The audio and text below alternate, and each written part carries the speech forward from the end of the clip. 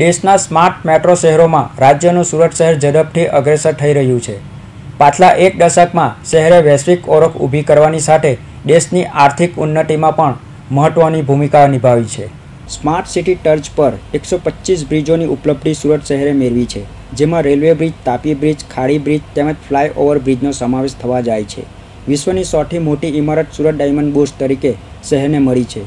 સૂર્યપુત્રી તાપી કિનારે ઇંગ્લેન્ડની East India company તેમજ પોર્ટુગીઝ કંપનીઓએ વેપાર શરૂ કર્યો હતો.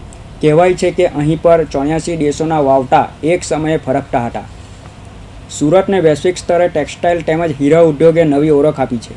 રોજગારીની અનેક તકો હોવાના કારણે દેશના ખૂણે ખૂણેથી લોકો અહીં આવી વસવાટ કરે છે. ત્યારે દેશમાં સ્માર્ટ સિટી અંતર્ગત ડેવલપ થઈ રહેલા મહાનગરોમાં સુરતે હરણફાળ ગટિયા નામના મેળવી છે.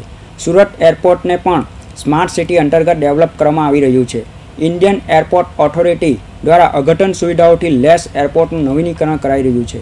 મિશન ઉડાન હેઠળ ડોમેસ્ટિક તેમજ ઇન્ટરનેશનલ એર કનેક્ટિવિટી વધારવાની દિશામાં પણ સુરત શહેર આગળ વધી રહ્યું છે. એરપોર્ટ પરની ઇન્ડિગો એરલાઇન્સ દ્વારા ગોવા અને દીવથી એર કનેક્ટિવિટી શરૂ કરાઈ છે.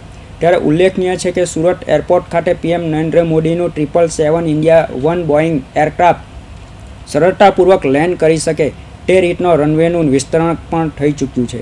હાલમાં સુરત એરપોર્ટનો રનવે બે હજાર નવસો પાંચ મીટર જેટલો છે, જ્યાં એરબેઝ ત્રણસો વીસ સુધીના એરક્રાફ્ટ વિમાનો સરળતાથી લેન્ડ કરી શકાય છે. ત્યારે પીએમનું બોઈંગ સાતસો સિત્તોતેર એરક્રાફ્ટ એરપોર્ટ રનવે પહોળો કરાતા આસાનીથી ટર્ન લઈ શકે તે રીતે વેસુ તરફ વિસ્તરણ કરાયું છે, જેનો ઉપયોગ કરવા ડિરેક્ટર જનરલ સિવિલ એવિએશન દ્વારા મંજૂરી પણ અપાઈ ચૂકી છે. Ketan Patel, Hind TV news Surat.